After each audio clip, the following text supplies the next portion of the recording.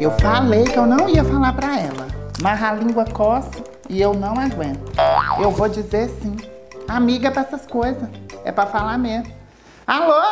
Oi, Berê! Já, minha linda! Berenice, acabei de chegar do supermercado, menina. Eu sei que você não tem nada a ver com isso, mas, ô, Berê, você não sabe quem que eu encontrei dentro do supermercado? Madalena.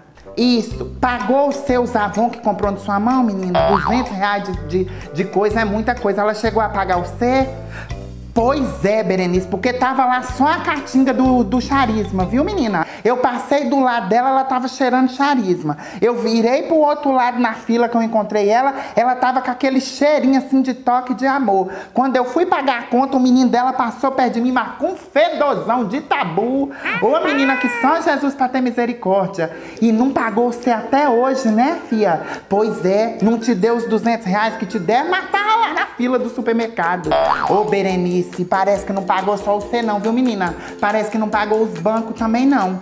Berê, quatro minutos que eu fiquei na fila com essa mulher. Você acredita que Madalena deve ter recebido para base de umas 20 ligações 011 no celular dela? Que eu vi que era 011. E ainda veio com desculpinha fiada por cima de mim, Berenice. Foi? Ela virou pra mim e falou assim... Olha, menina, pra você ver, os bandidos de São Paulo, tudo fica ligando pra gente. Ô, Berenice, esses bandidos de São Paulo não tem o que fazer, não, menina. Quem é que vai. O, o, tamanho que São Paulo é, os bandidos de São Paulo vai ligar logo pra Madalena nesse fim de mundo? Eu tenho raiva desse povo mentiroso, esse povo que mente. O que, que é que custa falar que é os cobradores que tá atrás dela? Entendeu? Que a gente sabe que esses trem de 011 é tudo gente cobrando da gente. Ah, não aguenta esse povo, não, menina. Pelo amor de Jesus Cristo. E outra, não pagou você, você sabe, Berenice, o que, que é que tinha dentro da cestinha de Madalena?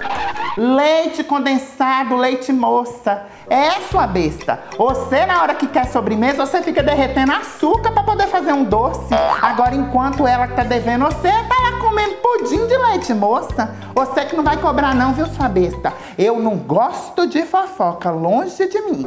Mas tem coisa que é preciso de contar, viu, menina?